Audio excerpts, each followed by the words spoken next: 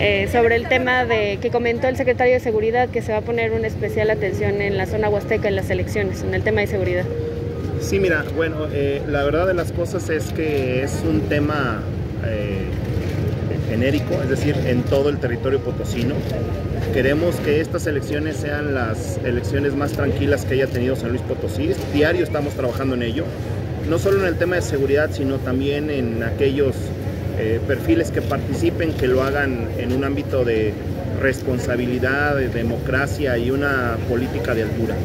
Que busquemos eh, en todo momento evitar confrontaciones o que los ánimos que, que se calienten, ¿verdad? Eh, es, es, es, es, correcto o es cierto o es una verdad que en, el, en la época de elecciones, bueno, pues este, eh, confluyen las emociones, pero bueno, pues eh, vamos a buscar que siempre estén tranquilos. En la zona huasteca, ¿cuáles serían los focos rojos, secretario? No, ¿Qué municipios? No, no tenemos puntos rojos, no hay puntos rojos ahorita en el estado.